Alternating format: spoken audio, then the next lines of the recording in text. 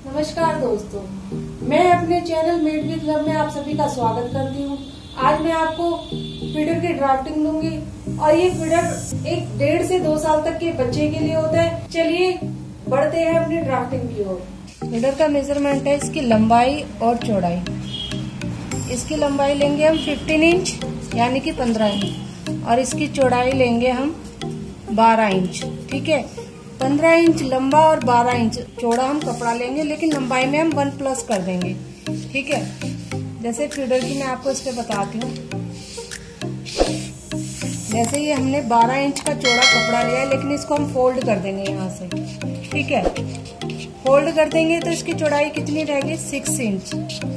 और इसकी लेंथ में हम 15 में प्लस वन कर देंगे, यानी कि आगे 16 इंच। ठीक है? तो ये हमने 15 16 इंच का लंबा और फोल्ड में सिक्स इंच चौड़ा कपड़ा। ठीक है?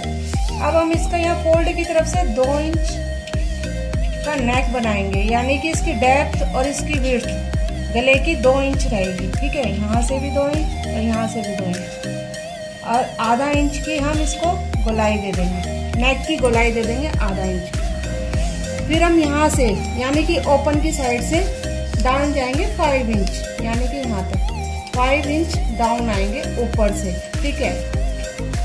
फिर नेक की तरफ़ से इसको हम ऐसे मिला देंगे फाइव इंच तक, ठीक है?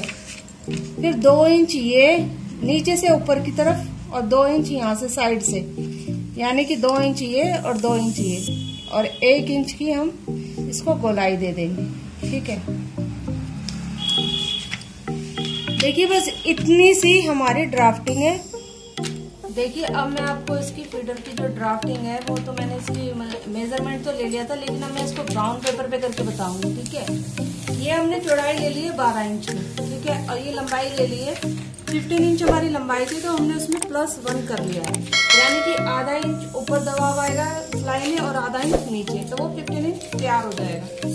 अब फोल्ड की तरफ़ से हमने नेक बनाना है, यानी कि दो इंच का।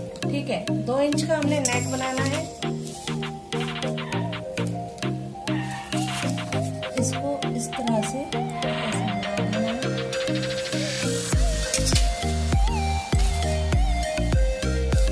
हाफ़ इंच की गोलाई देनी है।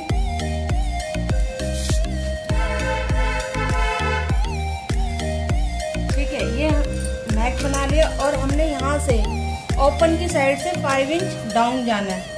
नीचे। ठीक है? ये फाइव इंच नीचे हम डाउन आ गए इस नेक से और इस पॉइंट फाइव इंच से मिला देना है। इस तरह से। ठीक है? नीचे से दोनों साइड से, यानी कि इस साइड से टू इंच और इस साइड से, यानी कि कॉर्नर बनाते हुए हमने एक शेप दे देनी है वन इंच पे। यानी कि हमने एक इंच तिरछा लेके ठीक है, एक इंच तिरछा लेके और ये टू इंच से गुलाई दे है, इस तरह से। ठीक है? मैं इसकी कटिंग करके बताती हूँ देखिए ब्राउन पेपर पे हमारी ड्राफ्टिंग कट हो चुकी है फिडर की। ये कुछ बनने के बाद ऐसा दिखता है। और मैंने इसकी पॉकेट भी कटिंग की है। आप चाहे तो किसी भी शेप में पॉकेट कट सकते हैं। मैंने चार बाई चार की पॉकेट कट की है। उसका मैंने हल्का सा नीचे से राउंड दे दिया है। और मैं आपको नेक्स्ट वीडियो में इसकी स्टिचिंग करना बताऊँगी कपड़े पे। मिलते हैं नेक्स्ट वीडियो में। सो प्लीज़ सफ़ा कर, सारा कवर, सफरा कर रहा है सारा सफ़ा कर, सारा कवर, सफरा कर रहा है सफ़ा कर, सारा कवर सफ़ा